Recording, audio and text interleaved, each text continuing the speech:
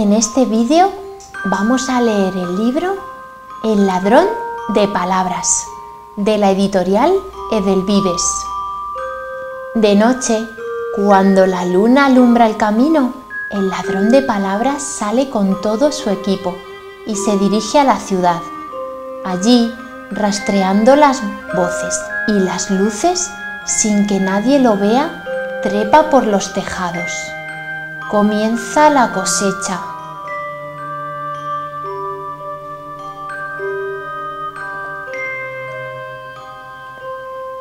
Impulsadas por el calor de los hogares, las palabras se mezclan alegres.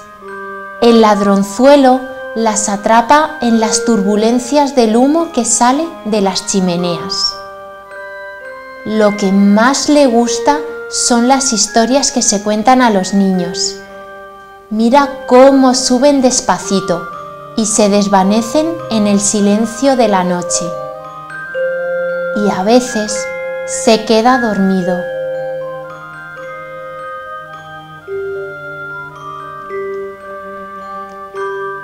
Luego vuelve a su casa con las alforjas llenas, ansioso por ver su cosecha. En la cabaña las palabras se ponen a juguetear y a cantar. Las hay de muchos tipos, saltarinas, tiernas, verdes, extranjeras, muy gordas y rojas de ira, y algunas tan largas que es imposible pronunciarlas.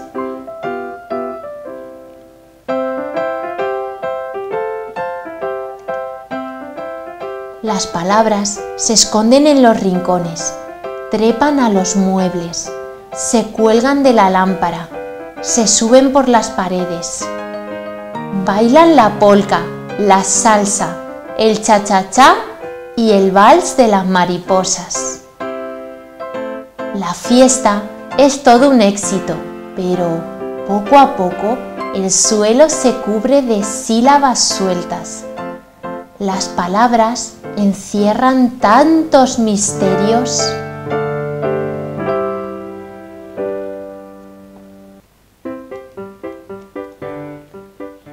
El ladrón de palabras entonces las clasifica y las mete en tarros de cristal.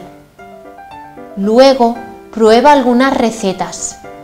Dos palabras dulces, tres mojadas, una picante y dos cálidas. Lo mezcla bien y lo lanza todo al aire. Y así el azar trenza alfombras de alabanzas, teje bufandas de injurias y tricota calcetines de explicaciones complicadas.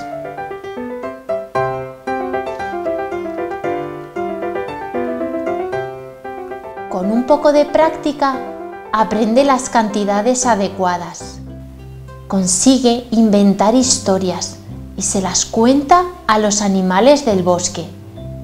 Estos lo escuchan muy atentos, pero guardan silencio. Así que decide volver a la ciudad.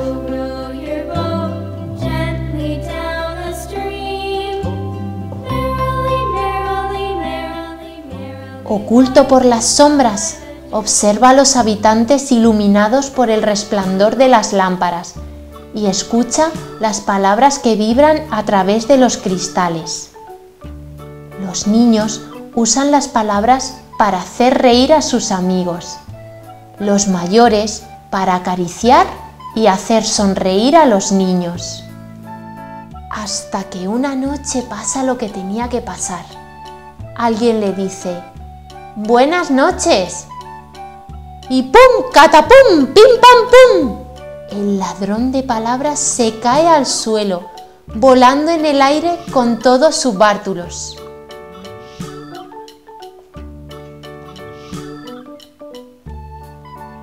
Un niño sale enseguida a ayudarlo a recoger su red y sus palabras.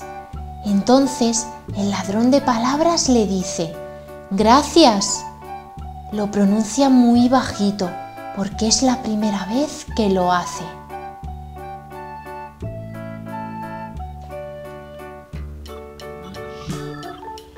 A partir de entonces quedan casi todas las noches.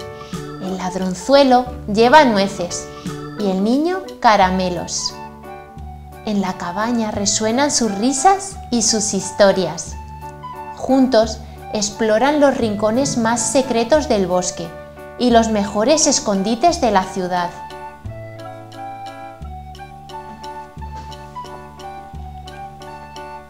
Un buen día, el ladronzuelo conoce a una niña y se queda mudo. Las palabras que con tanta paciencia ha ido atesorando ahora no le sirven. Necesita robar otras palabras.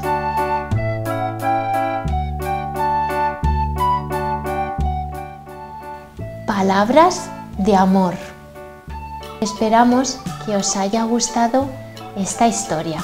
Ya sabéis, dedito arriba, suscribiros a nuestro canal y compartid con todos vuestros amigos.